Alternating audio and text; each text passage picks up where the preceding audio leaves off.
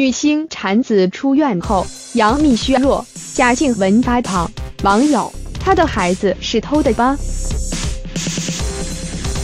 生孩子对女星来说是一件既痛苦而又幸福的事。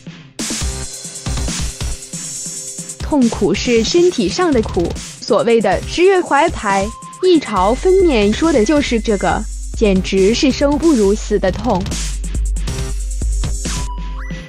而幸福则是因为将要迎来一位新的小生命，自己也要转变成了妈妈的角色。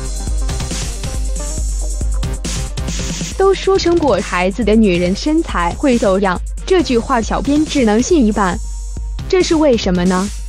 因为小编发现娱乐圈中有很多明星会发胖，而有的就好像没生过孩子一般。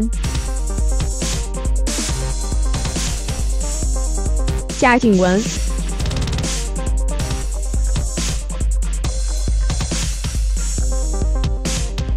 关注《身临其境》这个节目的朋友应该知道女神贾静雯吧？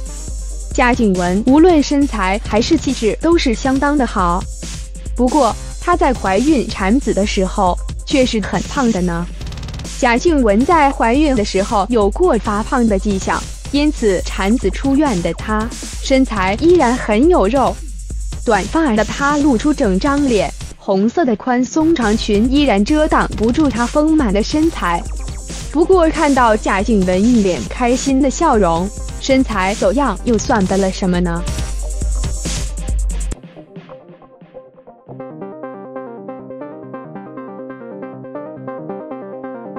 杨幂产女可以说是娱乐圈中的一件大事，不光媒体记者关心，很多小蜜蜂也是相当注意呢。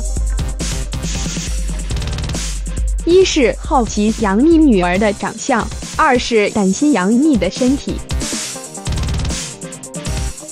从照片中看，杨幂夫妇与公婆脸上都洋溢住幸福的笑容，而小糯米则被包得严严实实的，看来。杨幂很怕自己的孩子曝光，并时不时的用手捂住。不过，有些眼尖的网友看出杨幂好像很虚弱，双腿简直太细了，绝对的营养不良。范玮琪、陈建州与范玮琪喜获双胞胎儿子，真是多少人求之不来的好事啊！在范玮琪产子出院的时候，范玮琪与老公十分低调，彼此都用口罩遮住脸，两个儿子也是直接用睡袋包裹住，抱其怀中。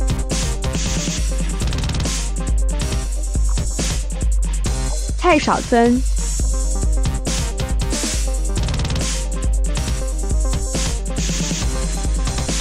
香港女艺人蔡少芬生过孩后。素颜出镜，头戴黄色帽子，身穿花色裙子，搭配灰色的围巾，好似市井大妈的既视感。看来生过孩子，真的没心情在乎美不美了。